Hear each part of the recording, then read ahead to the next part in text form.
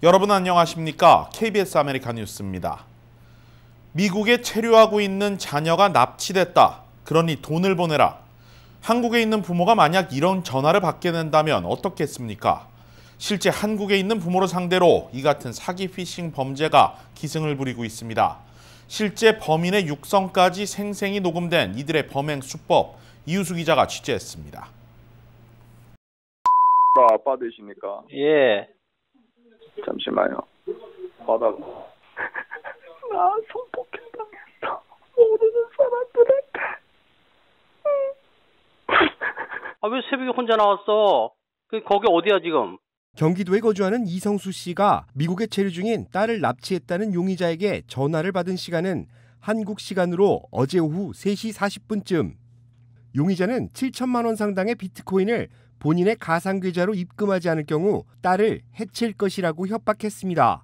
이 새끼 끌고 와서 성폭행하고 아저씨한테 전화해서 지금 돈을 요구하잖아요. 뭐가 더 필요합니까? 한국 경찰 신고하거나 이쪽 대사관 인터폴 요청하면 그때 머리에 총 쏩니다. 용의자가 딸과 자신의 이름을 알고 있고 딸이 미국에 체류 중인 것을 알고 있다는 점에 이 씨는 당황을 금치 못했습니다.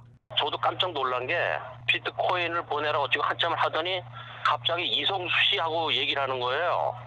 내 이름을 불러고 내가 까- 아주 더 깜짝 놀랐어요. 기지를 발휘한 이 씨는 곁에 있던 아내에게 미국에 있는 딸에게 전화를 넣어보라는 메모를 건넸습니다. 미국에 있는 딸의 안전이 확인되며 몸값 지불을 거부하자 용의자는 돌변했습니다. 성의가 없잖아, 이 새끼야. 전화 끊기 전에 나 너 딸 손목부터 먼저 잘라줄게. 새끼 기다려봐. 이들 용의자는 납치된 여성의 목소리를 연기하는 일행과 조직적으로 범죄를 일으키고 있는 것이 특징입니다. LA 총영사관은 한인들을 대상으로 하는 보이스피싱 범죄가 늘어나고 있는 만큼 각별한 주의가 필요한 시점이라고 밝혔습니다.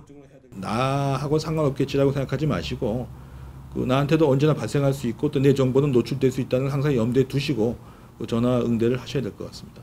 이번 사건처럼 미국과 한국에서 동시에 발생한 사건의 경우 한미 양국의 공조 수사가 이루어집니다.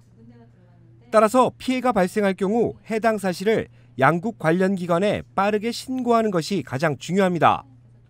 한편 분당경찰서 사이버수사대는 이번 사건의 초도 수사를 진행하고 있습니다. 피해 확산을 막기 위해 용의자의 신속한 검거가 필요해 보입니다. KBS 뉴스 이우수입니다. 아, 한국 돈 7천이다. 지금 당장 할 수 있어 없어?